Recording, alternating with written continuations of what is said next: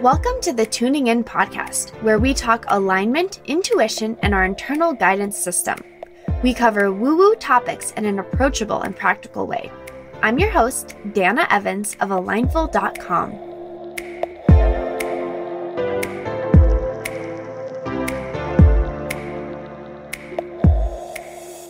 Hello, and welcome to another episode of the Tuning In podcast. This is episode 98.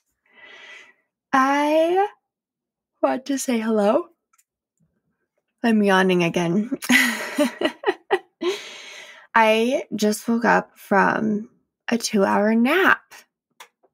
And you know how sometimes if you if you ever nap, believe it or not, I don't nap. I rarely nap. I know as actually as projectors it's it's highly recommended to nap. And I often get very tired around between 1 and 3 p.m. And I don't really either allow myself or choose to nap. I'm not fully sure which one it is, but it's just not something I do. Oh, but today I did. And I have that feeling. like when you wake up from a nap and you just feel kind of stunned, like all systems are offline. we joke sometimes when we come home from a walk or if we've been out and we come home and like Mia, our cat, if she's been napping, like she still gets up to greet us, but you can tell she's like blinking her eyes and like shakes her head and she's just been kind of out. That's how I feel. Man, I, it's funny. So yesterday was Sunday. I had the best day. Our new washer and dryer came last week. And yesterday I did like every laundry I could think of. I washed all sorts of sheets. I washed towels and bedspreads and all of Mia's blankets and bath mats and my clothing. It was a big laundry day. And it was a wonderful day. I did house things, which I just absolutely love doing on Sunday. I did some more clearing out, which we'll be talking about in today's episode. And had a really chill, nice evening. After dinner, I was like, okay, I need to wind down because I've been like doing all day. Like it was a lot of energy of just constant go, go, go. It wasn't exhausting by any means, but it was a very focused energy day. And so I was like, okay, I don't want to go from that energy straight to bed because then I might not sleep very well. So instead, I decided to take a shower and do some of my practices. So I did dry brushing where you sweep. I've talked about that a lot on this episode. I did dry brushing and I did oil massage with my favorite Banyan Botanicals mm-hmm. oil. They're balancing body oil and it's tridoshic, so it supports all of your doshas vata, pitta, and kapha. It just felt so good. And I took a nice shower and then got out and did a little more body oil while my skin was wet so it could really absorb. And then I did gua sha. Okay. And gua sha, I think I've talked about it on this podcast before. It's this stone. Mine's jade ish. I think I should eventually get a really nice one. of course, right? Christmas gift. But mine is, it's a crystal, some sort of stone. They have them in rose quartz, they have them in jade, they have them in just like basic stones. And they're this really cool shape, like kind of like a heart shape. And it's a facial massage stone. And there's all sorts of videos online about using it. In fact, I believe I have one on my YouTube channel, which I should probably redo with my new level of knowing and understanding about this. But I decided to do that. I've been really intentionally working back in my facial practices. I got a facial reflexology tool if you've watched my Instagram stories, I've been sharing a lot of that where you are working with acupressure points on the face, very similar to what you do with tapping or EFT, emotional freedom technique, where you're tapping on different pressure points of the face to release tension, anxiety, lower cortisol. Facial reflexology does a lot of that, as does gua sha. So I did this beautiful gua sha routine on my face last night. It was like almost 30 minutes where I was just tending to myself. That's kind of how I feel. You know how you tend to a garden? I feel that these type of practices are like tending to yourself and they're oh so necessary. And I then did a meditation, went to bed. Well, I slept okay. Was a little jumpy and edgy with my sleep, but woke up at 6:15 and just felt like truthfully like really kind of tender and sore and worked in my neck area, which I did a lot of the gua sha there. So I think I moved a lot. A week ago, I was feeling when I got back from the mountains on Monday, on that Sunday, I had felt kind of a specific feeling that I know very well where my body's like, uh oh, we're fighting something. I had a bit of a sore throat and just like, I just could tell. I was extra tired and I could just tell my body was like, okay, please let us do our healing work so you don't end up sick.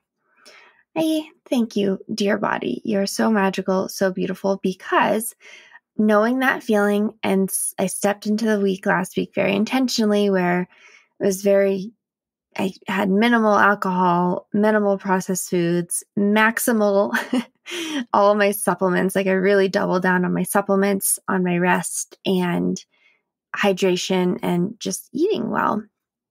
My whole thought last week was I'm going to support my body as it's doing healing.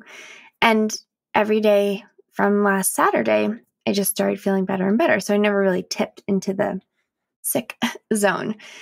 But I think the gua sha, there's so many lymph nodes that store stuff in your neck. I'm no expert in this. I just know that if you've ever had a massage or any sort of body work, sometimes it can break some stuff loose in your body and then you feel a little ill, like not so great the next day. Well, that's how I woke up today, this morning. I woke up feeling energized early went and got to teach my amazing college students, and I had them do a tapping exercise that I did with them.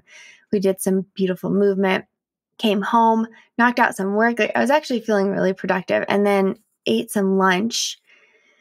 And around, yeah, like 12, I was like, whoa, I'm feeling a little crazy now. And my neck was still sore. And then at one o'clock, I was like, all right, I'd watched a couple episodes of a show and I'm like, okay, that's not relaxing. I need to like lie down. so I, I took my phone, laid down, did a meditation, which is usually a way I can get my system to like lie down in the middle of the day for an extended period of time is by doing a meditation. And then from that, I just iced out. And John actually woke me up. I think I laid down at one o'clock I did like a half hour meditation and then John came and woke me up at 3:45. He's like, "Um, you've been out for over 2 hours and I thought I should wake you up so that you can sleep tonight." I was like, "Oh." Hence here I am stunned blinking and recording this podcast because I really did want to do it today. So, why why are we talking about this, right? Well, because Gua sha made me do it. No, just kidding. But it was really cool. One today, and usually Mondays are like this. It's pretty common for me that Mondays are very spacious, but today I had very little on the agenda and I everything I wanted to get done or needed to get done, I actually did this morning. And so I had space, this beautiful gift of space to freaking just nap. And I know that is so amazing and luxury. And a lot of people don't have that space or aren't willing to take it, right? There's two sides to that. But the space in my day, I really like to keep Mondays as spacious as I can because it's kind of a catch up day. I often do admin work on Mondays. I often do anything that I didn't like work wise or home wise I didn't get done over the weekend. I like that space, right? And one thing that I've been working on, and I think this is a continuation from what we talked about last week, but one thing that unfolded for me was I need more space in my home. Last week, episode 97, I talked about the Cloffice project, the laundry room project, and how that's creating my own personal space within my home. But throughout that project, yeah, I don't think I had done this when I recorded last week. So, or maybe I would just done it, but my dad came over and helped me empty everything out of my laundry room so we could pull out the old washer and dryer and get everything ready for the people to come on Friday to take it away and give us our new one. And when when that happened, like I stepped back and I got every single thing out. And I looked and I was like, "Oh my gosh. This was all in my laundry room."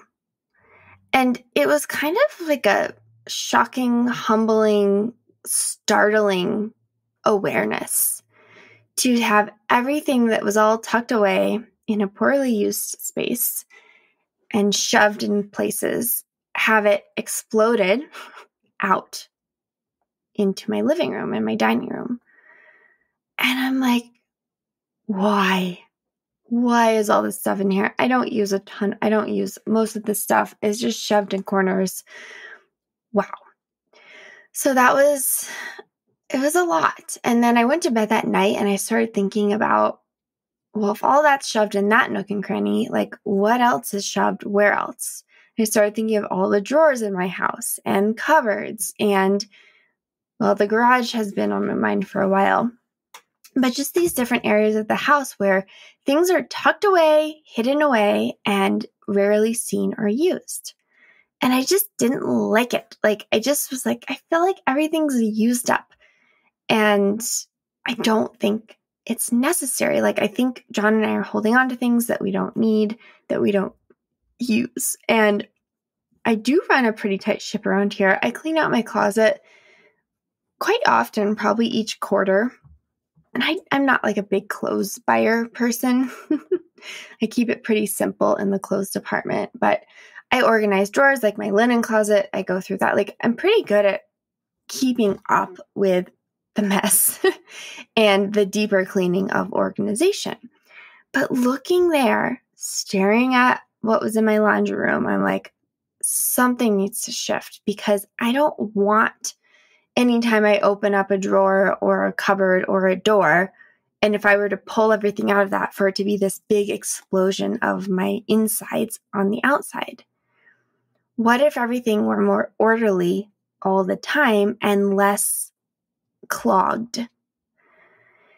And that led me to I opened Netflix this weekend. I don't know. I, I haven't been feeling like watching normal shows, but I've been on the hunt for something like motivational or inspirational. And I had last week I had watched Marie Kondo and then I saw this movie called The Minimalists. And there's actually two on Netflix. I watched both of them.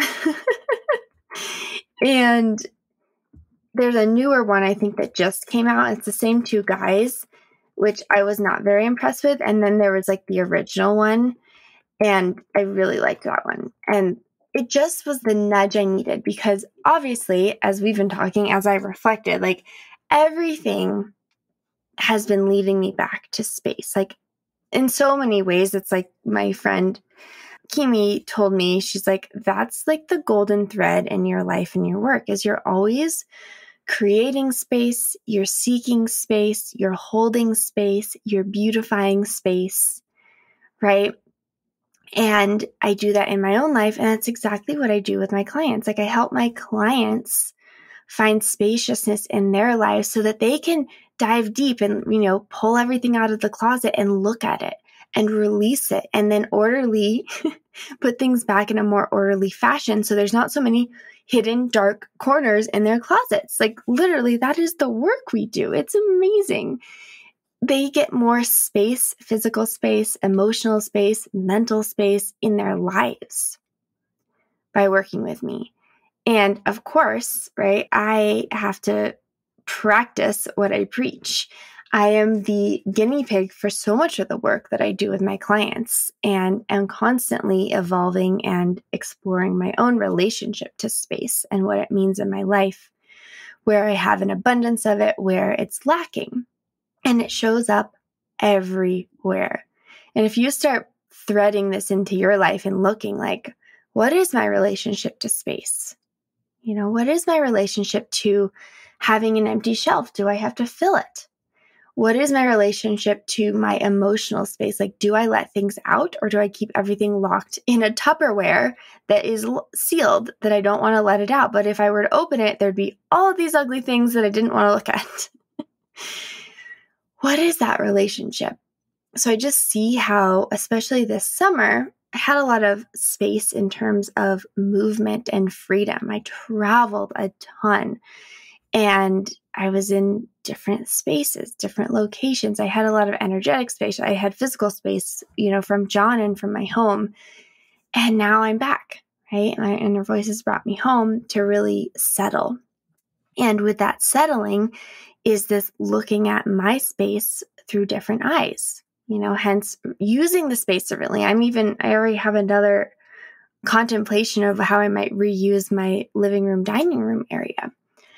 And everything, it's just reminding me that I want more spaciousness in all aspects of life.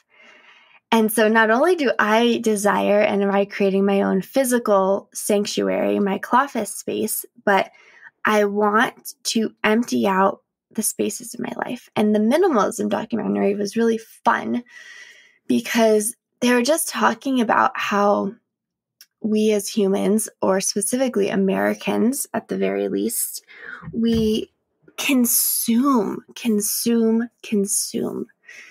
And we hold on to stuff and we're really emotionally, as humans, we're emotionally attached to things because we think the things are our memories.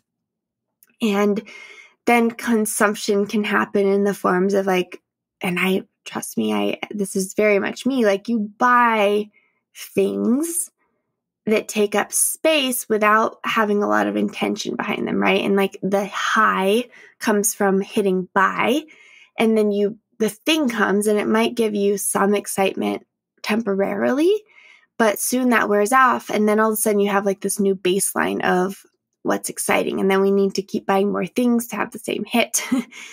and our lives are just could be this never ending more, right? And if you think about what we're kind of taught in terms of how we're living our lives, like it's like you buy your first home, right? And then, and this is really typical. I'm not saying we all are doing this. I certainly am not quite living this, but this idea, right, of what it means to be successful. It's like, okay, you find a partner, right? Then you get married, then you have to buy a home, then you fill the home, and then you want to have a family, then you have kids.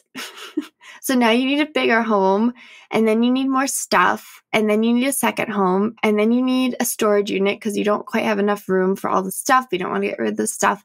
And it's like there's kind of this trajectory, and this is what they talk about in the documentary. I'm more sharing that, but also these are my own reflections of if we're not careful, we end up in this life where we always need more, right? Bigger, better, faster, more. And we need to make more money, right? In order to support the more, the new things we want in our lives. And we consume a lot. And what happens though is, and I have just, I've really seen this in myself is I love nice things. I love beautiful things. I love the best. and I support that. I think that's fine. I'm in favor of those. Are, it's what I like, right? You like what you like. And I see where sometimes that tips in more of the unhealthy direction where I want things, so I just buy them. Want it, buy it, want it, buy it, want it, buy it. And it becomes a lot more emotional, especially as like an emotional authority in human design. If I don't ride my emotional wave and find like the calm clarity of a purchase, I end up with a lot of things that I don't necessarily want or need and are not necessarily like long term, long lasting pieces that I just love and items that I just love. And so all of that became clear in the emptying of the laundry room. I was like, oh, I just, I want less crap.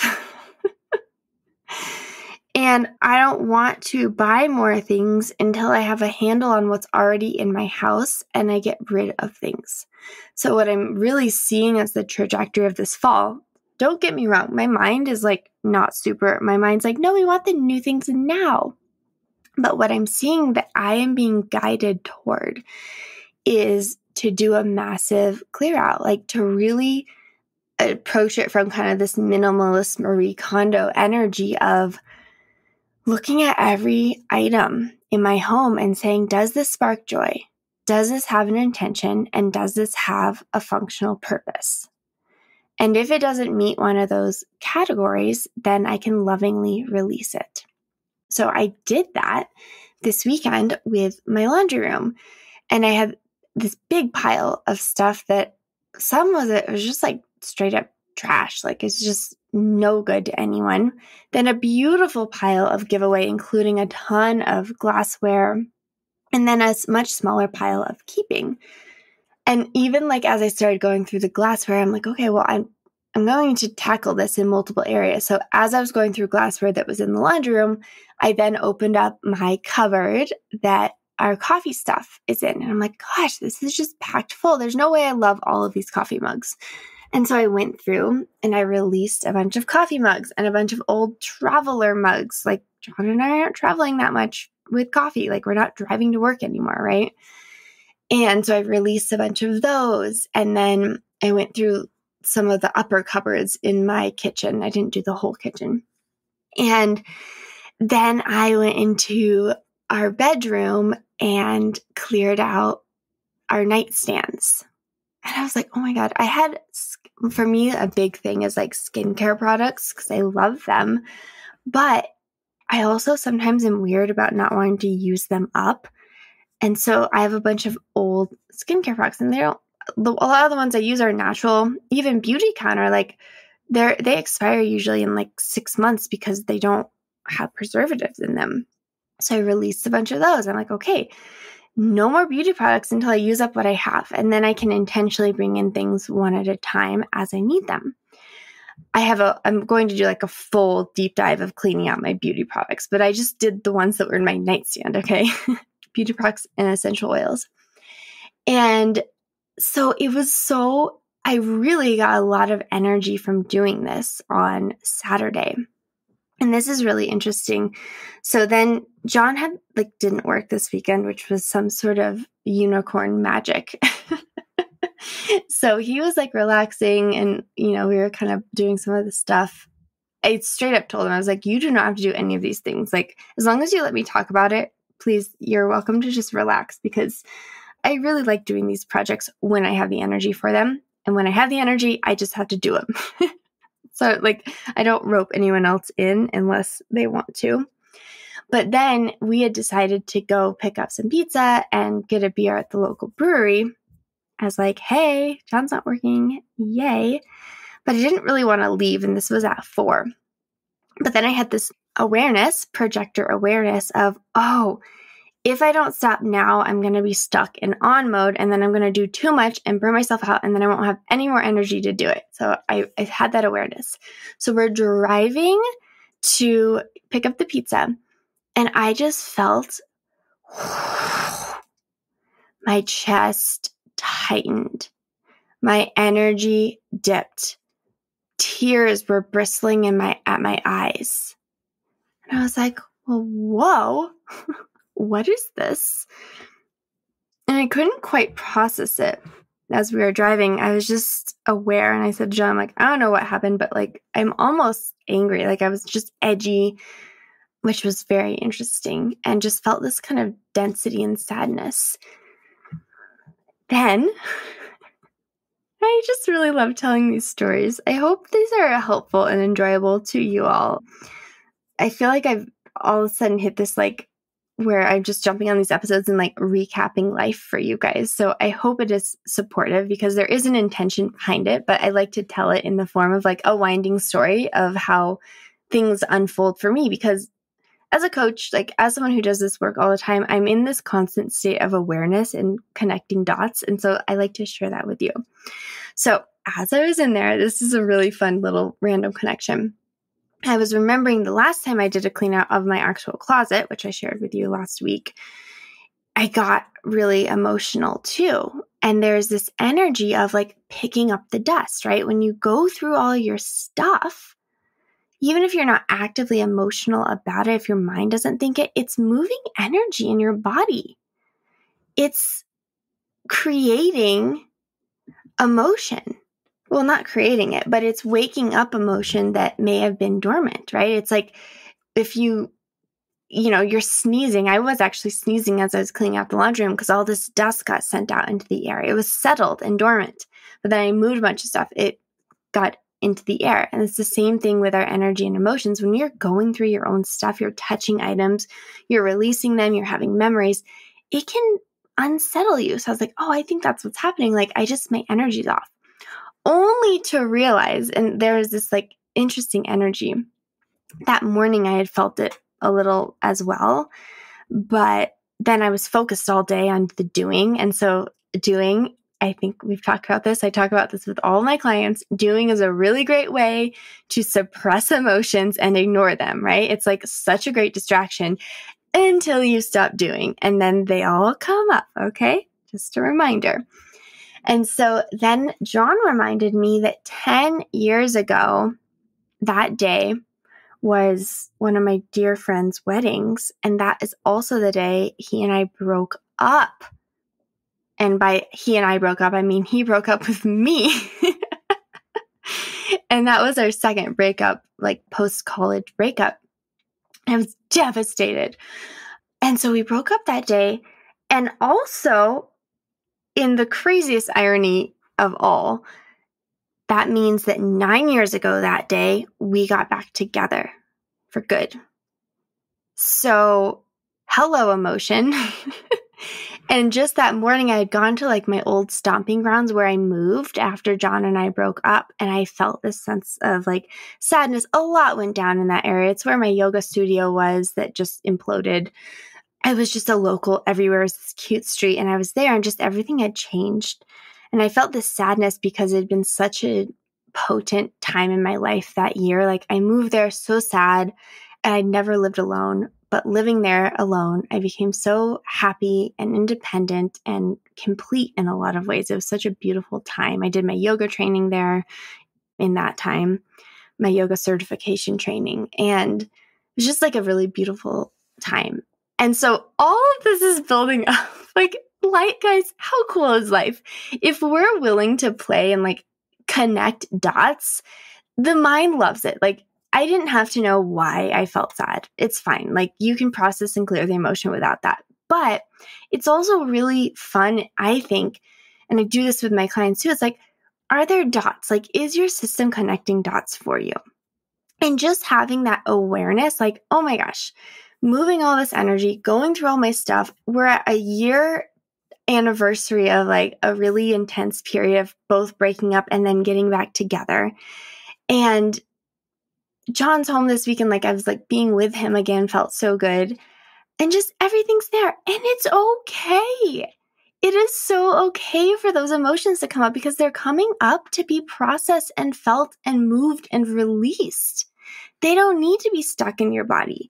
That's why if you, you know, let go of the ball, right? If you're trying to hold the ball underwater, if you're doing as a form of distraction, whether it's conscious or not, from the feeling, if you let go, yeah, it's going to shoot way up, but it will also land again. right? Take a breath. Honor that your body is brilliant your body is here supporting you, helping you, guiding you, and processing stuff that you don't even know what it's doing.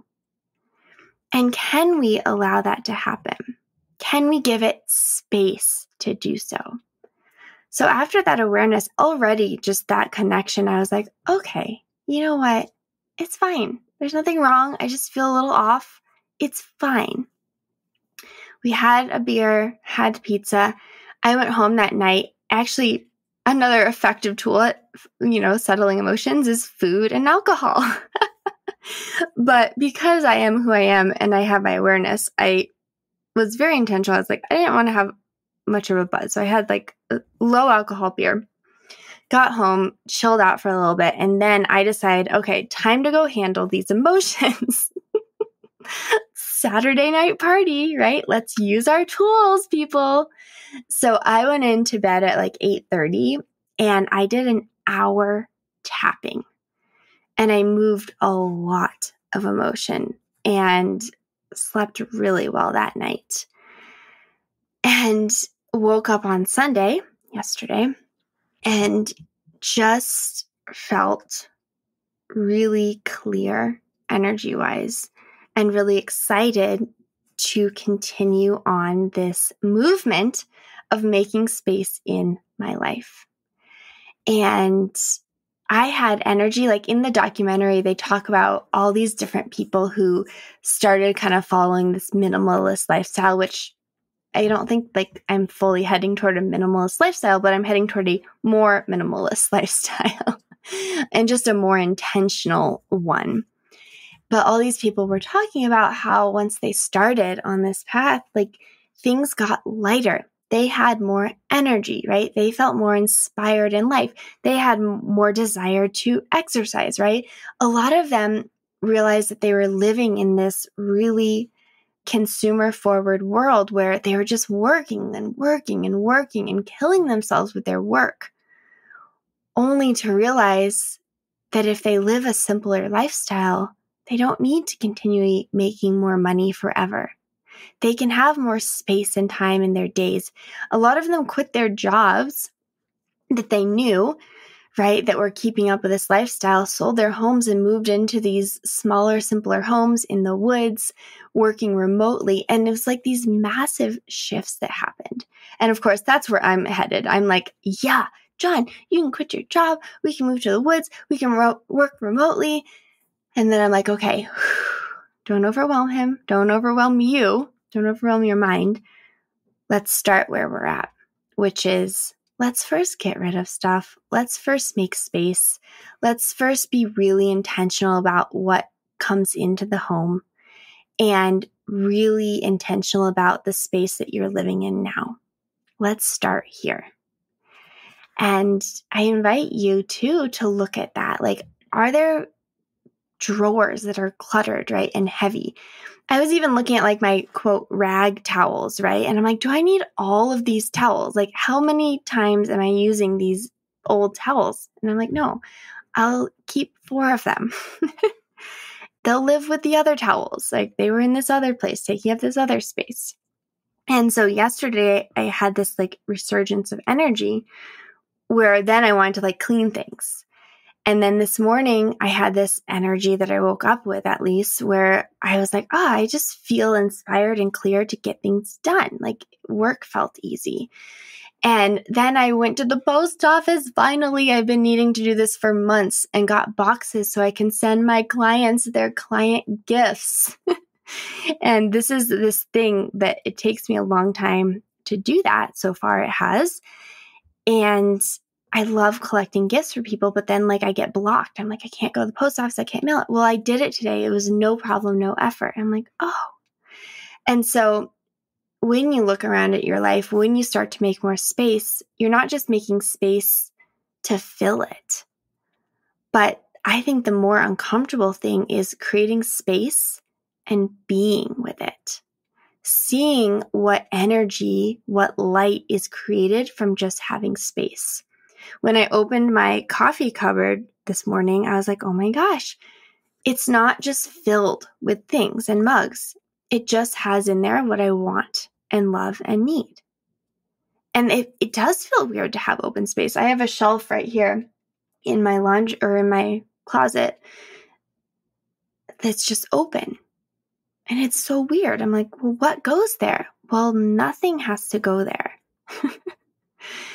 and we get to again challenge what we're told.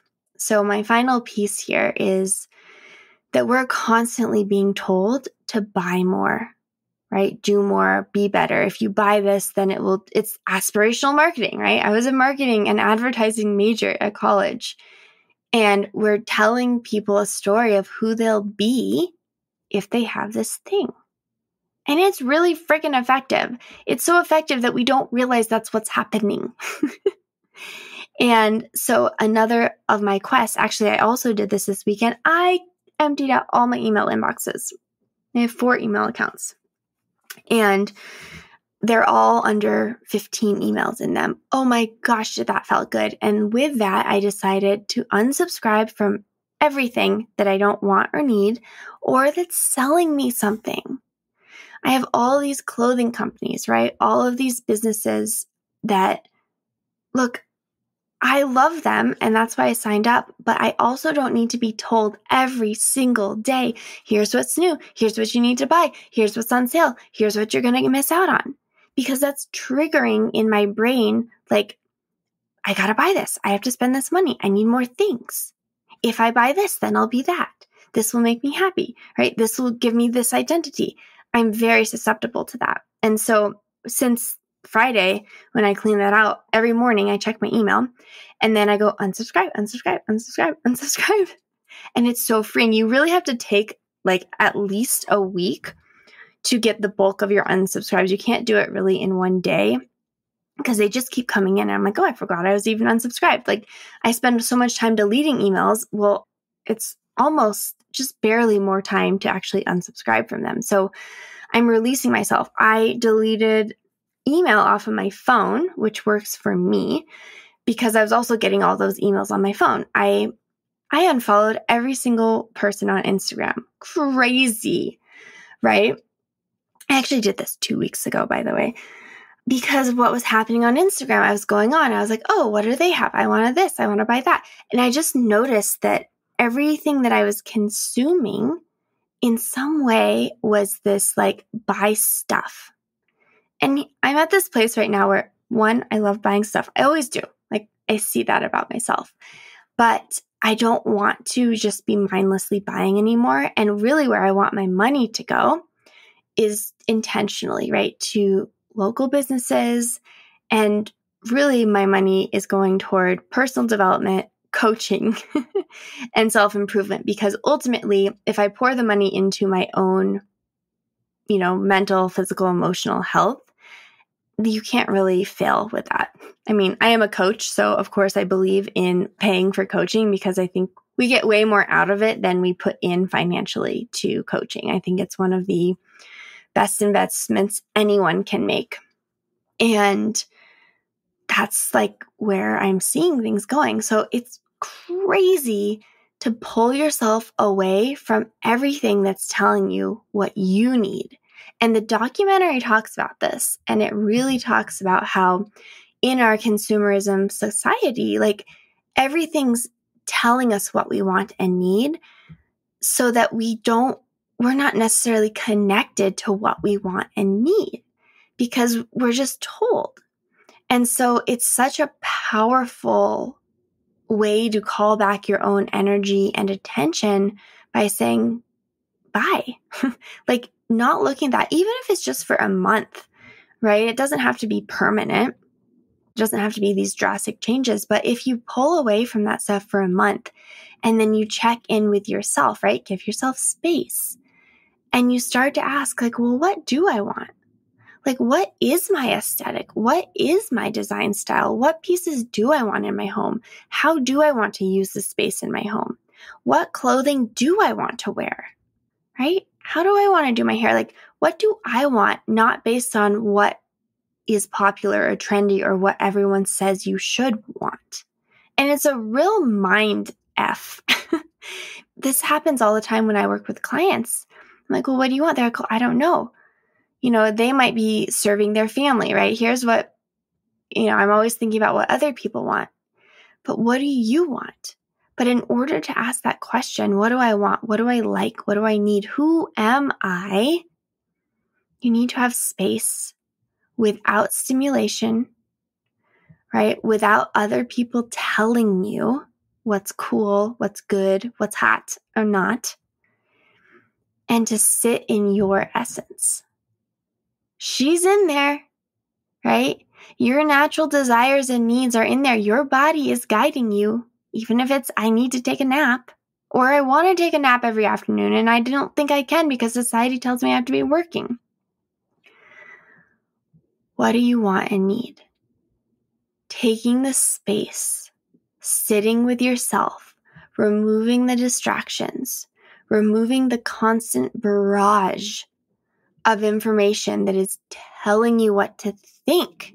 Oh my God. I mean, we are under a freaking spell, people. We are told what to think. And if you think that's not true, start to look around, right?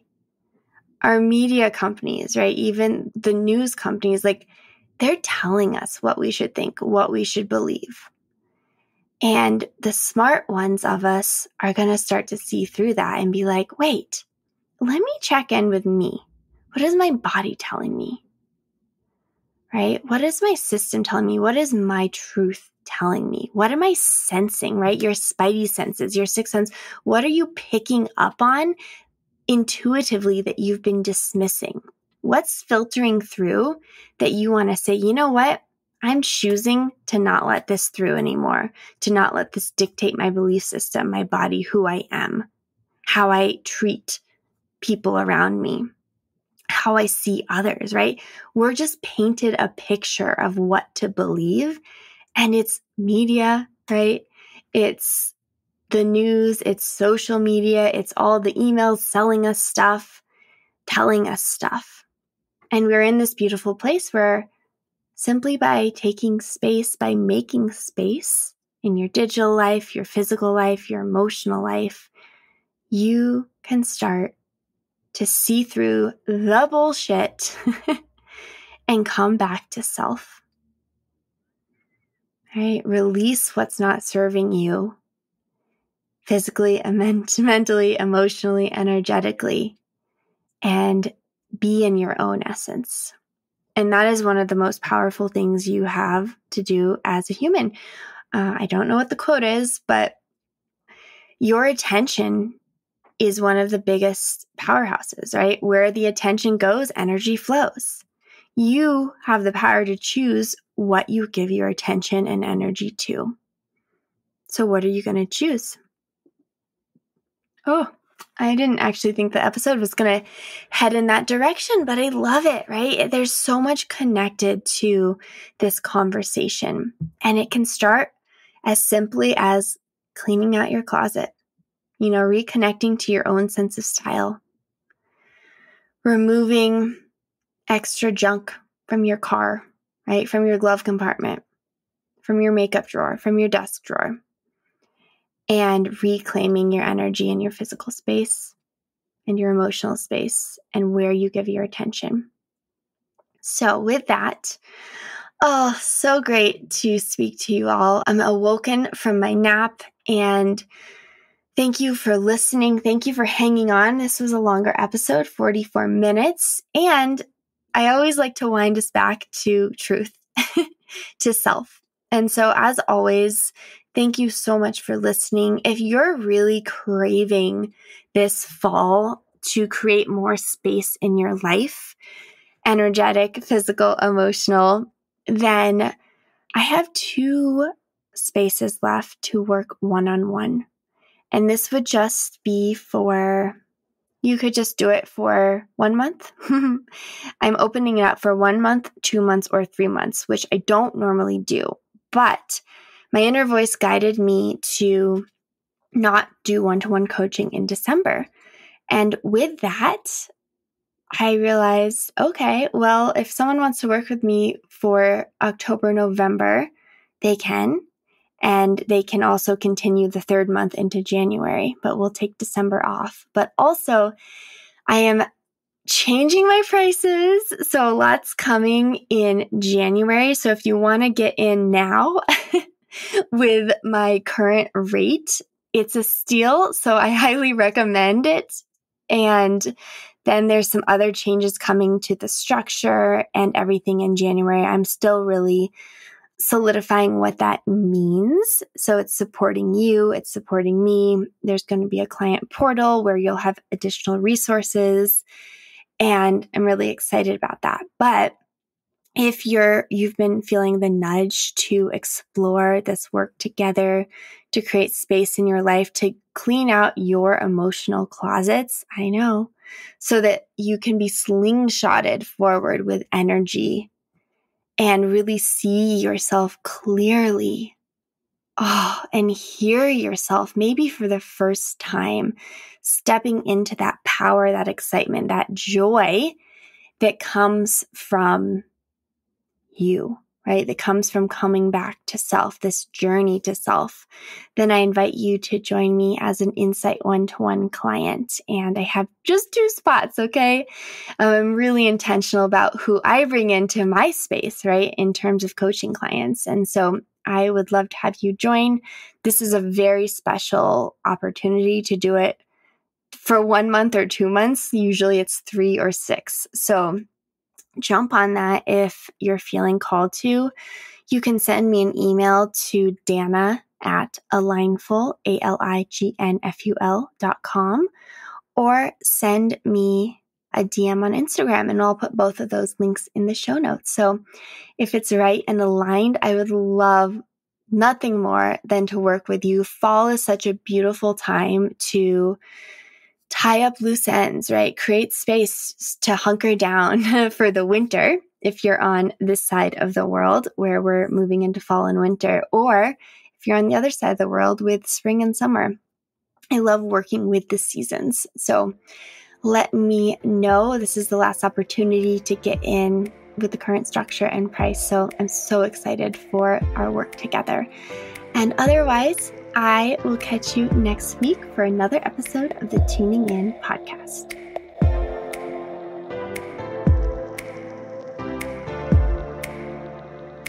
Thank you for joining me on another episode of the Tuning In podcast. As always, if this would resonate with anyone you know, please share the episode. You can follow along with my journey on Instagram at Dana underscore Evans or find me on my website at alignful.com.